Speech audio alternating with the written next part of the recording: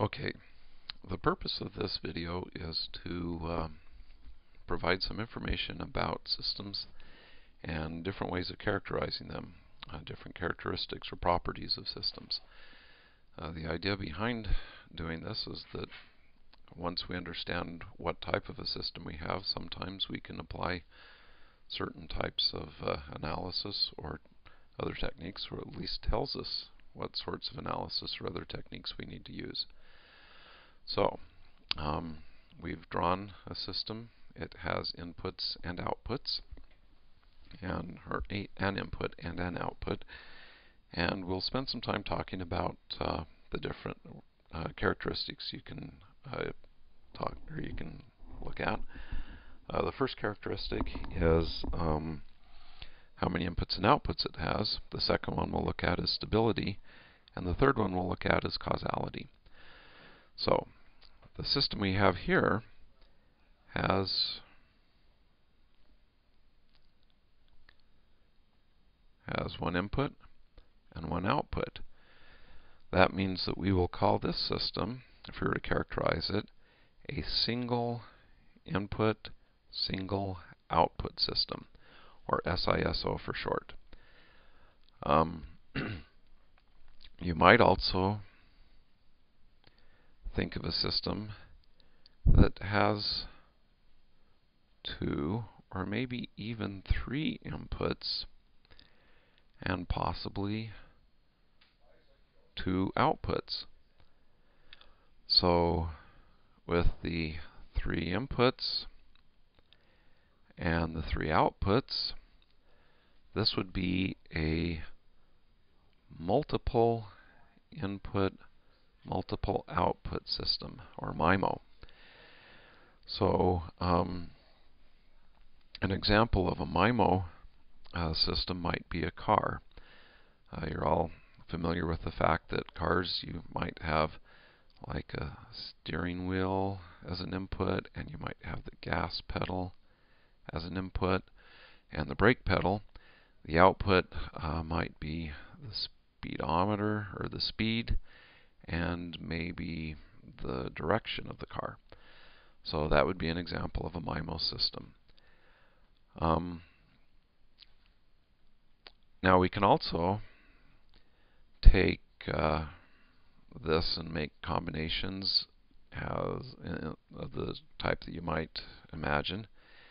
If I have a single, oh dear, that's a mess. Input, that's another mess, multiple output system, then uh, this would be a system that has one input and multiple outputs. I can also have a multiple input signal or single output system. So the idea is that systems may have one or more inputs and outputs. Uh, for most of the things that happen in an introductory course in signals and systems, we assume a single input, uh, single output system because most of the analysis is fairly straightforward, at least relatively.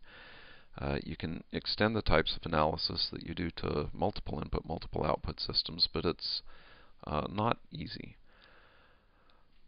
So that's uh, counting how many inputs and how many outputs you have.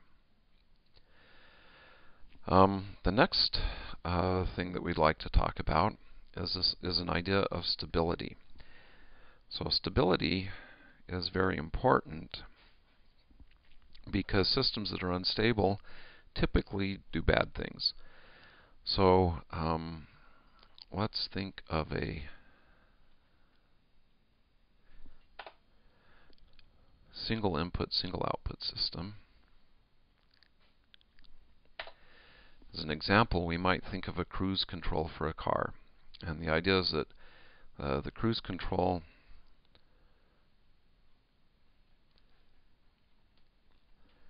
uh, the input is the desired speed and the output is the speed that the car is actually going.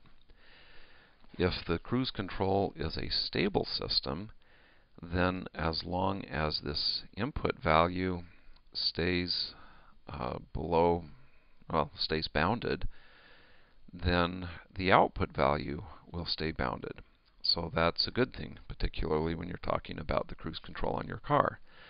An example of an unstable system would be if you set the car to go at a certain speed, but the output speed starts to increase without without bound. It just keeps getting faster and faster and faster. Uh, this is more or less the problem that Toyota seemed to have. Um, so uh, this would be an example of an unstable system. Um, generally, you want systems to be stable because stable systems respond in predictable ways. And uh, they don't have things going on in them that get, you know, they don't have mechanical motions or electrical signals or whatever that get so big that things start to break. The mathematical term that we'll use for stability is bounded input, bounded output, or BIBO. So a system is BIBO, stable if an input that never goes to infinity ensures that the output of the system will always be less than infinity. That's BIBO stable. Um, we may uh, have time later on to go into that in more detail and show mathematically how to how to demonstrate that a system is uh, uh, stable. Okay, the last concept we're going to talk about in this video is um, the concept of causality. And by the time we're done with this, you may be going, why on earth would we do causality? Everything seems to be causal. Um, see if I can spell it first. And causality simply means that if the output of a system is y of t, and this is a time index. So um, if I'm looking at the output of a system at a particular point in time, t, that that output depends on the input for values of tau, where tau is a Greek letter that we use a lot, less than or equal to t. So this is the mathematical way of saying that something is causal. What this is saying is that the system, to get the output at a particular time, can look at the current time, which is t, and all of the past time, but it can't look into the future. So a causal system cannot look into the future to determine what its output is. Now clearly, if we could come up with an uncausal system, then um, that would actually be very nice because you could do things like predict the stock market. You could have your system look into the future, tell you what the stock market is, and then uh, you could uh, uh, uh invest accordingly. Uh, in the real world, as we know it, then that just doesn't happen. So why on earth do we talk about causality at all? Well, the issue is this. We've shown this as a function of t, which we typically interpret as time. But if this variable t is not time, if it's, for example, space, um, then it's actually very easy to construct a non-causal system. There, basically, non-causality means that you might be uh, doing image processing or something like that by looking at a whole image, not by looking at the image up to a certain point. So, for systems that are dynamic, that are you know, or, or things are happening in real time or in time, uh, in the real world we can't create non-causal systems. It turns out that uh, in terms of analysis, it's usually it can be quite often very beneficial to deal with a non-causal system uh, to learn things about, uh, say, Fourier transforms and so on, which we'll do later on. But in the real world, systems are almost always causal. Non-causal systems are helpful because they allow us to do some things analytically. And again, if things are two-dimensional, then uh, or uh, if our variable is not time, then we might be in much better shape too. So this pretty much ends the video on the first video on system properties. There will be another one on linearity and time invariance.